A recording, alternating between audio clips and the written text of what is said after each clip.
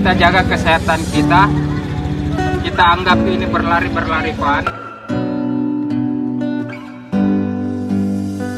I never, I never came as I never, I never came as